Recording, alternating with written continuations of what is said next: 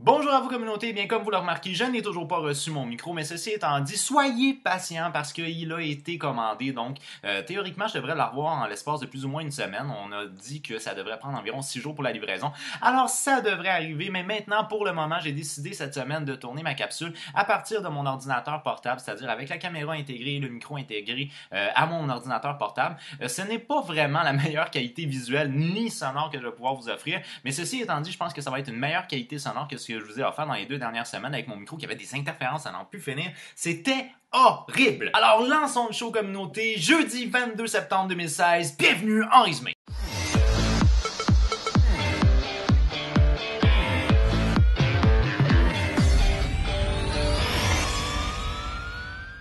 Bonjour à vous communauté, mon nom est Yves et bienvenue en résumé l'actualité avec une pointe d'humour et d'humanisme. Alors communauté, ben, j'espère que vous avez passé une excellente semaine, bien entendu entouré de parents et amis parce que c'est important de passer du temps avec les êtres chers. J'espère également que vous avez pensé à vérifier votre détecteur de fumée, il faut le faire deux fois par année, les pompiers sont venus me le dire. Maintenant communauté, la semaine dernière dans l'actualité, ce qui a beaucoup retenu l'attention selon moi, ben, c'est probablement tout ce qui a entouré de la crise syrienne. Alors c'est loin d'être fini par rapport à la guerre civile en Syrie. Et là, il y avait eu un cessez-le-feu, c'est-à-dire que la Russie et les États-Unis s'étaient consultés et de pair, ils avaient décidé d'opérer un cessez-le-feu avec leurs partenaires réciproques, c'est-à-dire que la Russie a comme partenaire le régime de Bachar al-Assad, donc le régime syrien de l'armée syrienne, et du côté de la coalition internationale, on a comme appui ben, les rebelles qui sont euh, essentiellement des, des, Kurdes, mais aussi des rebelles dits démocratiques. On va reparler de ça peut-être une autre fois, mais là pour le moment, c'est pas vraiment l'intérêt. Le cessez-le-feu avait été négocié, là on devait rentrer dans une période, si je me trompe pas, de 7 jours, soit de une semaine de cessez-le-feu, pour permettre à différentes aides humanitaires de pouvoir se rendre dans les villes frappées, dont Alep, qui est une ville qui est vraiment très fortement frappée par la guerre civile. Et comme toujours dans les relations internationales, il y a eu des bavures. Alors, quand il y a des bavures au niveau international, c'est jamais de la faute de personne. C'est pas de ma faute, c'est de sa faute! Il a tiré en premier! C'est lui qui a tiré!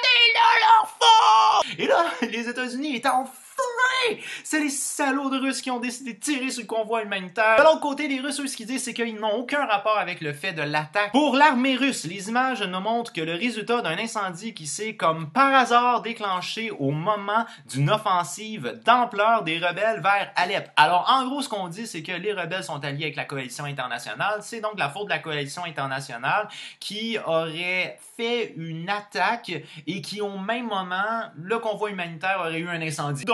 Quand même. Non, ben, c'est de la faute d'absolument personne et pendant ce temps-là, ben, il y a des gens qui meurent. Puis on a toujours rien comme solution. Maintenant, toujours au niveau international, j'aimerais ça vous parler un petit peu de la Chine. Pourquoi la Chine? Ben, parce que tout récemment, ben, il y a quand même euh, une tempête vraiment très importante qui a frappé euh, la côte asiatique et entre autres qui a frappé la Chine. On a atteint des vents là, de 350 km h On s'entend, c'est immense. 350 km h ça fait des ravages un peu partout. Et puis là, ce qu'on a vu en Chine, c'est qu'il y a une immense lune qui s'est détachée de son ancrage et qui s'est promenée un peu partout dans la rue. Donc en tant que tel, on parle pas, on parle de blessés, on parle pas de morts, mais on parle quand même d'images qui sont assez spectaculaires où on voit la lune qui roule dans les rues de Chine. Eh bien, non seulement est-ce qu'on a réussi à faire un epic fail au niveau euh, de la lune ici qui roule en Chine, mais en plus on a réussi à faire encore un meilleur epic fail et celui-là est celui de la station spatiale chinoise. Alors là, les autorités chinoises ont dit très clairement à la communauté internationale, on a perdu le contrôle, on sait pas ce qui va arriver avec. Les scientifiques chinois ont perdu le contrôle de la station orbitale Tiangong 1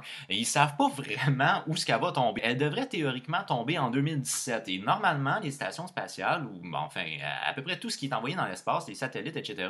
devrait tomber dans l'océan dans le but de pas blesser personne. C'est une base. Et bien là, le problème qu'on a, c'est qu'on n'a aucune bâtard d'idée où c'est que ça va tomber. Ce qui veut donc dire qu'il se pourrait qu'en 2017 vous ayez dans le ciel, comme par exemple de France ou même ici au Canada, aux États-Unis, qu'on ait des débris de cette station orbitale-là qui nous tombent sur la tête parce que les Chinois ont juste fuck all idée de ce qui va arriver avec. Franchement, pour ce qui est du programme spatial chinois, je n'ai pas de fleurs à vous lancer. Maintenant, communauté, on va se ramener aux États-Unis où la semaine dernière, ben, il y a eu des attentats. Entre autres, il y a eu euh, une attaque au Minnesota et des explosions à Chelsea, dans euh, la région de la ville de New York. Le débat sur les activités terroristes en sol américain a donc retourné dans la présidentielle américaine. Mais là où ça devient intéressant, c'est le fils de Donald Trump, c'est-à-dire Donald Trump Jr., qui lui a fait une sortie sur Twitter où il a dit la chose suivante. Si dans un bol de Skittles, vous saviez que deux Skittles sont des potentiels terroristes à devenir, est-ce que vous prendriez une entière poignée de Skittles dans ce bol-là? Alors, en gros, il vient résumer la politique d'immigration de son père par une image de Skittle.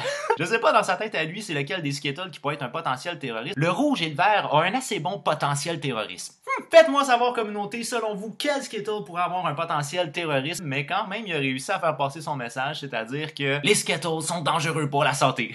Maintenant, en guise de dernier sujet, communauté, ben, ce que je vous offre, c'est quoi? C'est un nouveau compte Instagram pour lequel j'ai beaucoup de haine. Un compte Instagram qui s'appelle The Rich Kids of Singapore. Alors, c'est des enfants dits riches de Singapour qui ont décidé d'exposer leur richesse sur Instagram. Et ce qu'on peut voir sur les différents posts sur Instagram, c'est des photos de personnes qui sont parfois dénudées dans des situations XY, des voitures de luxe, bon, etc., etc.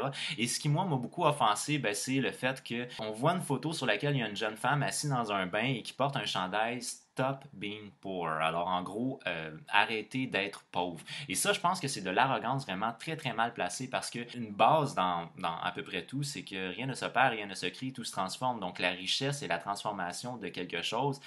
Euh, ce qui veut donc dire que si toi tu es riche, c'est parce que tu as rendu quelqu'un d'autre pauvre. Je pense que c'est très déplacé euh, de la part d'une jeunesse qui a tiré profit d'un système international très avantageux pour eux de dire à des gens arrêtez d'être pauvres. Parce qu'au final, si tu es riche, c'est en grande partie parce qu'il y en a d'autres qui sont pauvres. Sur cette communauté, pour moi, c'est déjà tout. Alors je vous remercie immensément d'avoir regardé ma vidéo. Si vous l'avez aimé, n'oubliez pas de donner un petit j'aime. Si vous l'avez vraiment aimé, ben, vous pouvez la partager. Ça me fait toujours plaisir d'accueillir des nouveaux abonnés. 300 abonnés d'ici la fin de l'année. On peut y arriver, communauté. J'ai confiance. Alors, communauté, moi, je vous dis à jeudi prochain. J'ai déjà hâte de vous voir. As always! With love. Bye bye. no, no, no.